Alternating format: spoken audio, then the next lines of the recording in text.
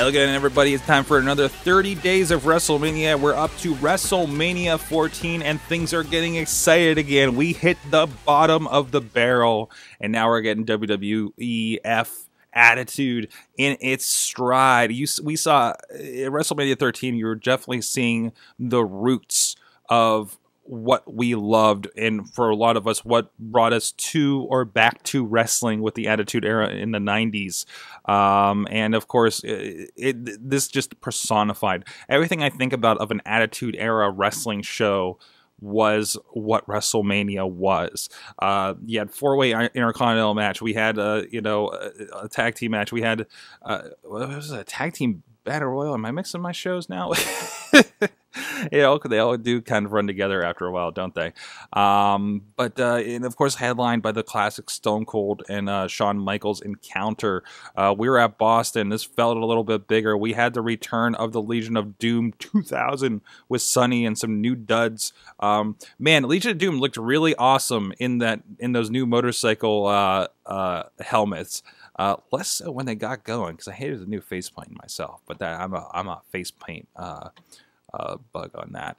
Uh, we had the lucha action, uh, lucha Japanese action. Actually, um, it, it, makes you wonder how they they flubbed the light heavyweight division so much when they had such great talent. It actually put out a good match. We had a crazy match with uh, uh, you know uh, Triple H and Owen Hart. You know, I mean. It, Nation of Domination uh, in, in this show, uh, you know, with with Ken Shamrock. You know, it was starting. It was starting to get there. Dumpster match uh, with uh, Terry Funk and, and Cactus Jack against the New Age Outlaws, another classic.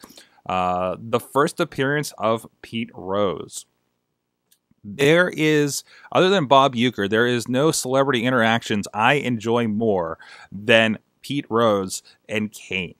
Um, and this was true to form Undertaker.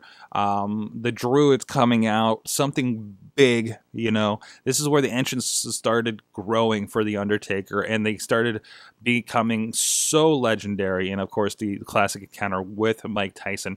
Everything felt so huge in this show in comparison to especially the last three WrestleManias. Um, this is getting back to uh, turning into a spectacle, even even at, you know just at the Fleet Center here in the uh, you know where they were uh, uh th- this year um, in Boston, and uh, and it's pretty it was pretty tremendous. It was pretty tremendous to see see that kind of grow up a little bit with WrestleMania 14. And again, it's like, okay, this is my era of wrestling. This is my Stone Cold. This is my Attitude Wrestling.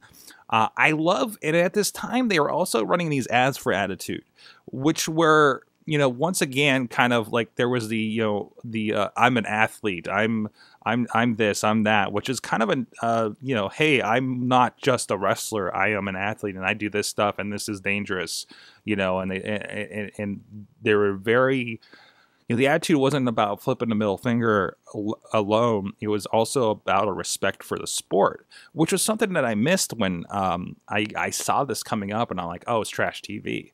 You know, when I would flip over to Raw, and even uh, homages to you know classic you know videos and and, and voiceover they have of Freddie Blassie uh, sitting in the stands with his cane, um, and uh, which continued to next year. Actually, was the entire intro to WrestleMania 15. There was there was there was a this is the past and this will be the future uh, kind of aspect to it. Um, so it really celebrated wrestling again, rather than really kind of going through the paces and kind of trying to survive as they were for the, much of the mid 90s. So back true to form, WWE. This is why we enjoy WrestleMania, and I'm very excited to get into these next few shows. Let us know what you thought about WrestleMania 14, uh, the big one, Stone Cold uh, and Shawn Michaels, Mike Tyson, the one that brought back WWE. Uh, let us know on social media at Mayhem Show. I'm at Sorgatron, WrestlingMayhemShow.com, and comment on this video. Please subscribe to us on YouTube, where we're having a lot of extra stuff actually these days, including this. Uh, that you don't get on audio. See you guys next time.